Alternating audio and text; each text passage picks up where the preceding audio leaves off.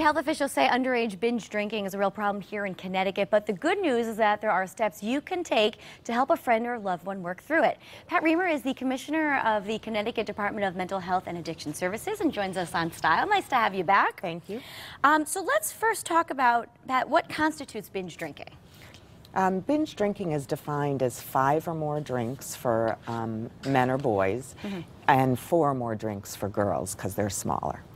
Um, and I think we've heard about this happening on college campuses, but you're saying mm -hmm. the problem is really expanding to, to younger kids. Yes, it is. And, and we're really concerned um, because it is uh, a real cause for concern in this state. It's um, part of the leading cause of deaths for adolescents because of the um, impact on uh, car accidents. Sure. And um, we do know that individuals that don't drink before the age of 15 have a much better chance of not having an alcohol abuse problem later in life.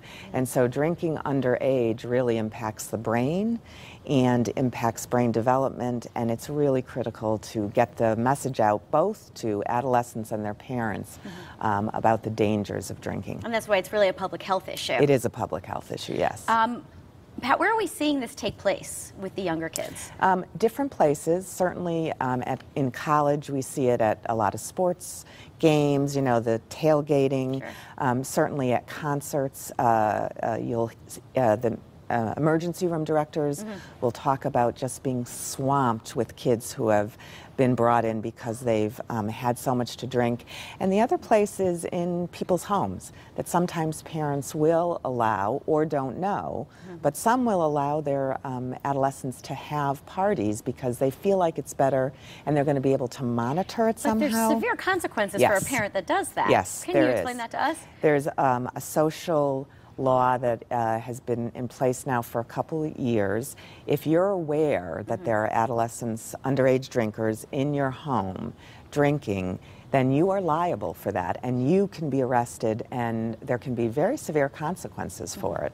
Um, let's talk about teens themselves and sometimes it's a peer pressure issue and I know you have to be confident and stand your own ground but maybe some tips for teens to, to kind of avoid this? Right, I think it is a huge peer pressure um, issue and again one of the things I would suggest is for parents to be talking with their kids from middle school because we're seeing middle school age children wow. drink on up. And, you know, it's really about the um, young adolescent trying to be, you know, they're in charge of themselves and, and really trying to find alternative activities. Not every kid drinks. Mm -hmm. You know, when you're, if you find your adolescent drinking and they say, oh, everybody does it, that is not true. And there are activities that people can engage in um, music, drama, um, school uh, uh, council. There's a lot of kids that don't drink, and I think really trying to help your um, children understand that is important. And you mentioned that it all kind of starts with the parents start talking to them about it at a young age. But any other advice? I mean, I mean, it, does it get to the point where you hide your liquor? Um, I think that if some, if you have a child that you think is out of control, that would be important. One of the things we know is the most important thing parents can do, and it is hard. Mm -hmm. It's very hard. I have young adult children. I went through the everybody does it. Can I have a party at the house? It's really important to say no and to explain to kids the consequences.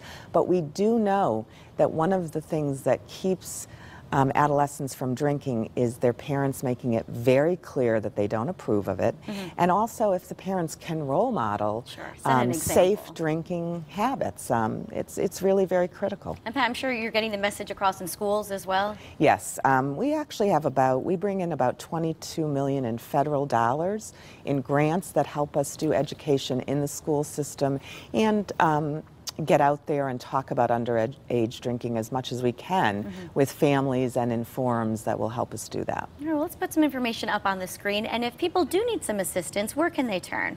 Um, they can go to our website, which is the Department of Mental Health and Addiction Services, and you can find it um, on the web at demas.com and there's all sorts of information and videos that mm -hmm. people can watch that will help um, also help them talk to their sure. teens about this. Life-saving advice, Pat. Thank you so much for being here. Thank you. Of course, we'll have information over at WTNH.com. All you have to do is click on Style.